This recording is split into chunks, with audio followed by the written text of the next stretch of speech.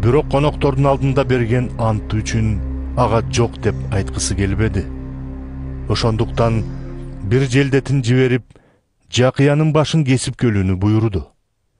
Желдет түрмөгө барып жакыянын башын алды да табакка салып келип кызга берди.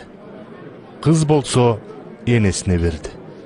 Бул окуяны уккан жакыянын шакирттери келип анын сөөгүн алышты да көргө алып барып коюшту жиберилген элчилер кайтып келишип ыйсага барышты да эмне кылып эмнени окуткандарын төкпөй чачпай айтып беришти келип кетип жаткан элдин көптүгүнөн ыйса менен анын шакирттеринин тамактанып алганга да чолосу тийбей жаткан ошондуктан ыйса шакирттерине өзүбүзчө ийинирээк жерге барып бир аз эс алып алалы.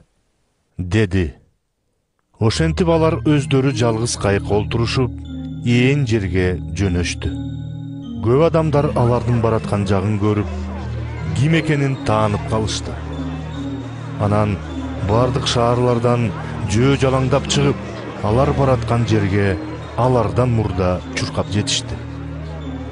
Ыйса кайыктан түшкөндө топураган элди көрүп аларга боору ооруду анткени алар койчусу жок койлорго окшош эле ыйса ошол жерде көп нерселерди айтып аларга таалим бере баштады.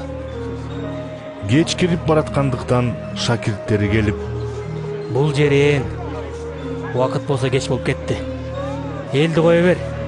Айланадагы айыл кыштактарга барып жегенге бирдеме сатып алышсын дешти ыйса болсо жегенге бирдемени силер бергиле деди шакирттери бизди барып эки жүз күмүш теңге жумшап буларга нан сатып келгиле дегени турасыңбы дешти ыйса канча наныңар бар барып карап келгилечи деди алар барып карап келишип беш нан эки балык бар экен дешти ошондо ыйса аларга элдин баарын көк чөптүн үстүнө топ топко бөлүп олтургузууну буйруду эл катар катар болуп жүз жүз элүү элүүдөн топко бөлүнүп олтурушту анан ыйса жанагы беш нан менен эки балыкты алып асманды карап кудайга шүгүрчүлүк келтирип нанды сындырды да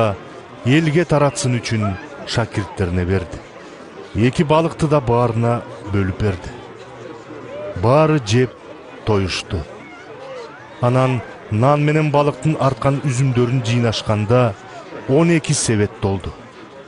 Жеген эркектердин эсеби беш миңдей эле ыйса элди таратып жатып ошол эле убакта шакирттерин дароо кайыкка салып көлдүн аркы өзүндөгү бейтсайдага өзүнөн мурда барсын үчүн жөнөтүп жиберди. Элди тараткан соң сыйынуу үчүн тоого чыкты. Кечкирип кайык көлдүн ортосуна барып калганда ал өзү жалгыз жерде турган.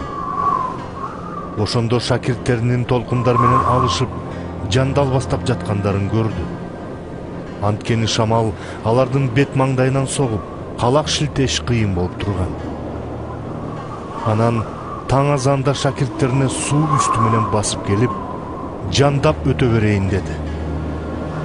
Ошондо шакирттери көрүп калышты да аны арбак экен деп ойлоп бакырып жиберишти аны көргөндө баарынын ээси чыкты ыйса ошол замат аларга коркпогула бул мен элемин деп сүйлөй баштады анан аларга кошулуп кайыкка түштү шамал ошол замат тып басылды.